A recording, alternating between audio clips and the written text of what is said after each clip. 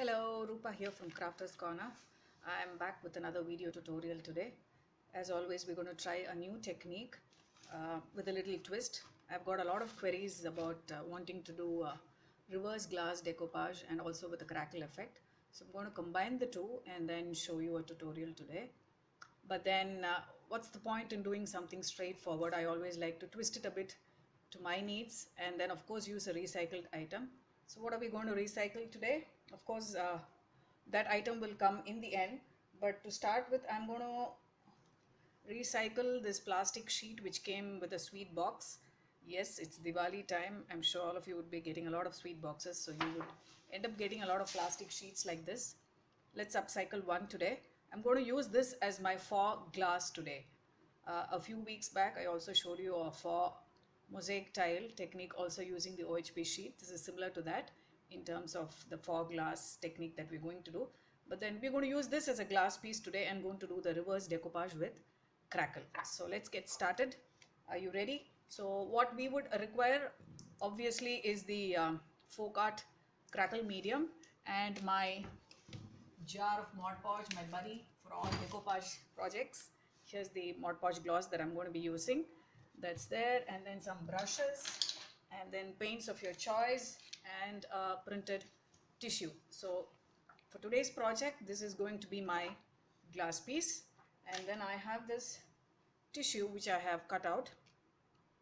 So what I'm going to do is I'm going to decoupage this face down. That is how it is going to come. You need to understand that all your work is going to be on the reverse and this is going to be your front side. And what this faux glass becomes in the end, we will see. Okay. So this is my experiment in front of the camera. I have not done one on a plastic sheet, but then there's always a joy of recycling plastic. I've always told you that. So with that in mind, I'm going to start. This needs to be decoupaged now. So what we'll do, I need to carefully adhere this tissue to the sheet. So you need a dry brush and your pot of Mod Podge and then slowly work your way. I'm positioning this tissue in such a way that I get the maximum of the design there and I'm leaving a little bit on the bottom. I have my Plaid mat down and yes I'm going to start from the center and then adhere this tissue gentle strokes it might appear that wrinkles are formed that's okay. Because the moment the Mod Podge comes in contact with the tissue it does wrinkle a bit. Anyways we're going to end up doing a crackle effect on this.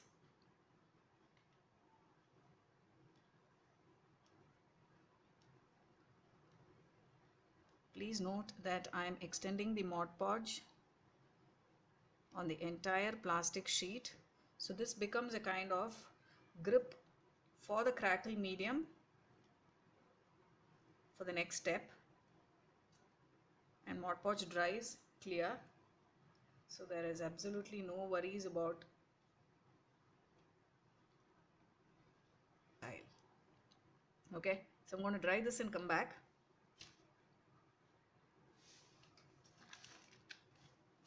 Yes I'm back after decoupaging the uh, tissue to the uh, plastic sheet and this is how it looks after drying. There's a lot bit of more work to be done on the behind. As you know that we are doing the reverse glass faux glass decoupage. So all these overhangs I'm just going to take it off using the uh, sanding block from Plaid.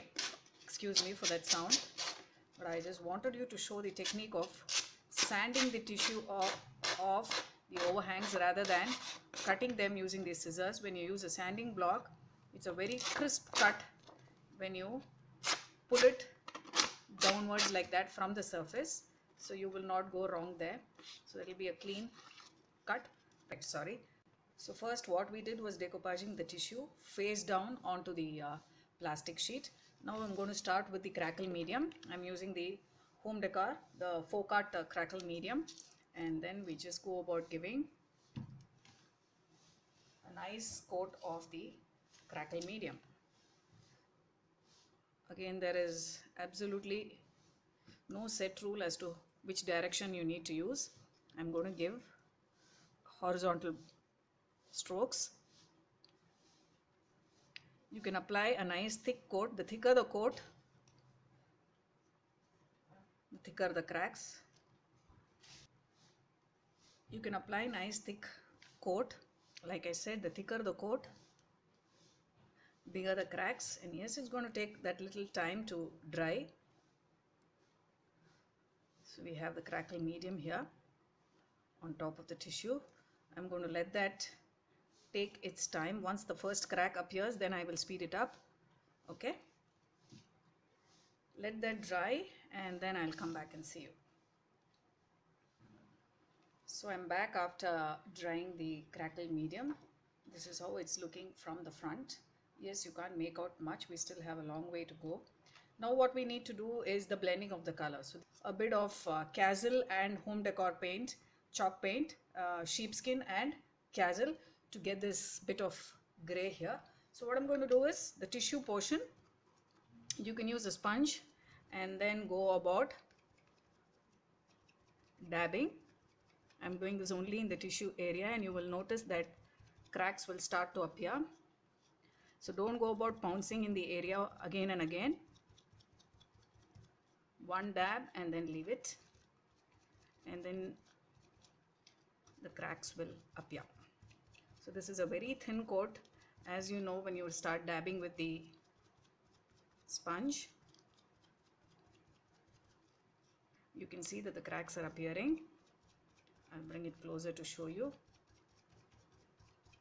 Yes it's a little difficult because you have to imagine things and start blending from the reverse. Alright so I have covered the tissue portion. You can see the cracks. Can you see it? Yeah can you see the cracks appearing?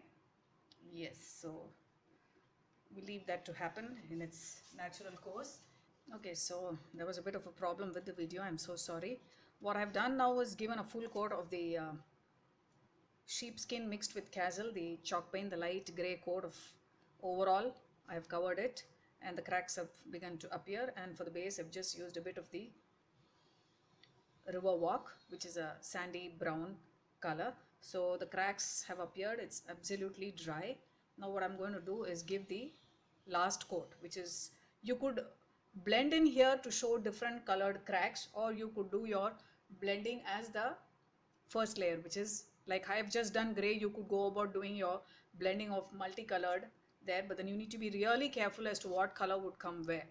So the easiest way would be to give a nice coat of the same color throughout and then work on different colored crackles. So in this case I'm going to keep the uh, top with a little multicolored of yellow and uh, green.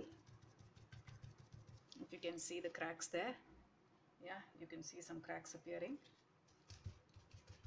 So I'm going to blend in yellow and green here.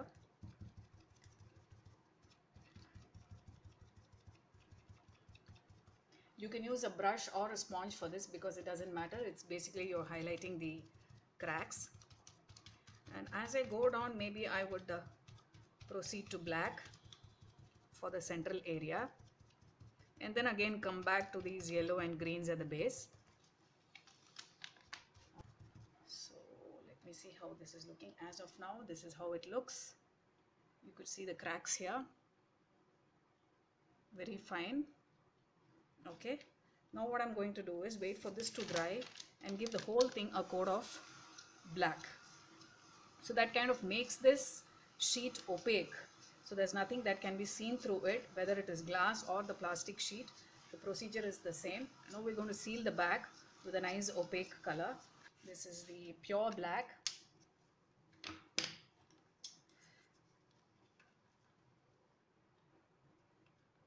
Okay, so a nice quart of the black and then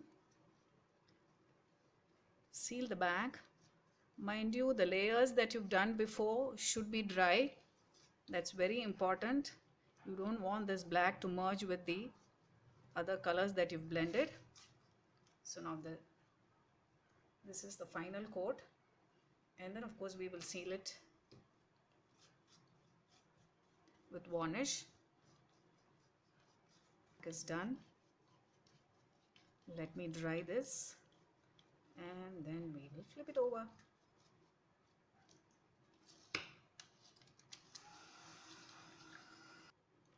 okay so I'm back. I gave uh, two coats of black at the back. I realized that with one coat when I still saw it through light it was a little transparent. So I gave another coat of black to totally seal and this is how it looks. And I do like the accidental rubbing of the crackle and the black again showing here and there giving it a totally distressed look. Like I said you just need to go with your style and embrace whatever imperfections come along with your experiments and then make it look presentable. That's finally what it is. You need to be satisfied with what you've done. At least to me this looks nice to the eye. Yeah it's a little glaring in the camera. You will see the final project after some time. So as you can see the crackles have appeared on this side. The major of the black crackles is around the center and then you can pick up a little bit of the multicolored the yellow and green crackles the finer ones and then the lovely distressing of the black around the edges yes it's another way what you could do to give it a distressed finish is rub off a bit of the crackle and then before you give the black. So that you know the edges have a bit of a black. In my case it was accidental and I seem to like it somehow. The entire distressed look that's come around the edges. So this is completely dry now. I'm going to seal it with one coat of varnish. You could use the satin finish varnish from home decor. So that's one coat I'm going to give of the varnish. And then of course you can wait for this to dry.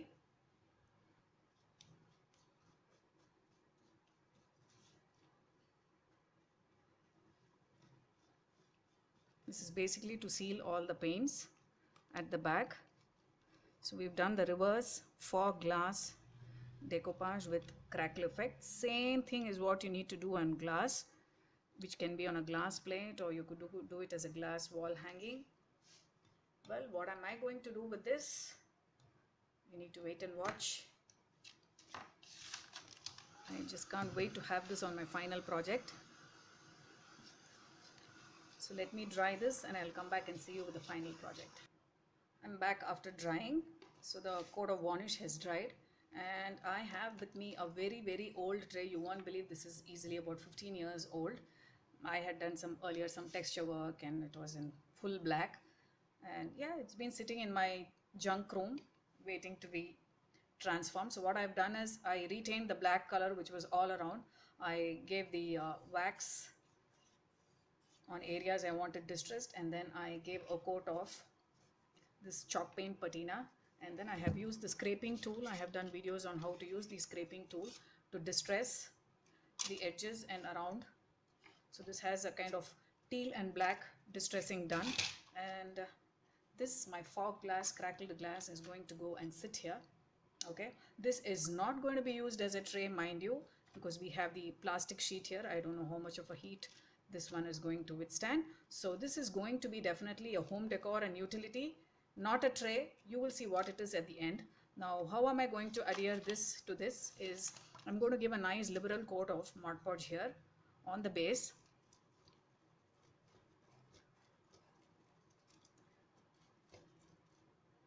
So there's Mod Podge here. Nice coat so that the faux glass or the plastic sheet sits nicely. As you can see a lot of texture work which was done I have sanded and then leveled it. It needs to be smooth.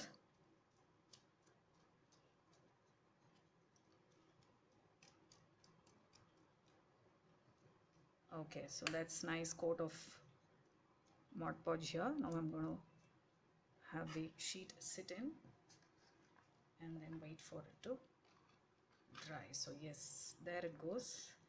It sits in plush. Now don't even try to peel it or move it you could place some weight on top of it and wait for it to dry.